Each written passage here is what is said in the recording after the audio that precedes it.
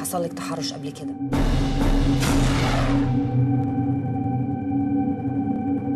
كم مرة؟ وكان رد فعلك إيه؟ ما تركبي اتوبيسات يا أختي زي كل الناس. طب الحمد لله إنه ما قالوش إنها هتقلب نظام الحكم كمان.